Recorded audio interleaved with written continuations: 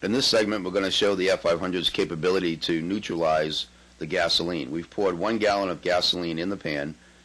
Now we've put one pint of F500 in that solution. We're mixing it with plain water, about four gallons.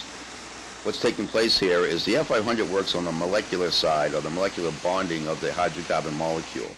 As you can see here, the micelle, which is created, locks up that hydrocarbon molecule now, rendering that gasoline non-combustible and non-flammable. This is important in a fuel spill situation, for example. We take the LEL meter now. Our explosive limits are now to zero. We remove the threat of explosion.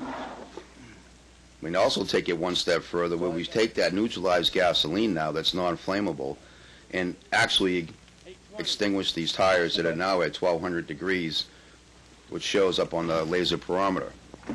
You can see that we penetrated through the rubber, removing the heat from the steel core of the tire shutting down the burn of the rubber with giving us extinguishment on those tires. Again, two points here. We removed the flammability of the gasoline. We made it neutral with the presence of F500.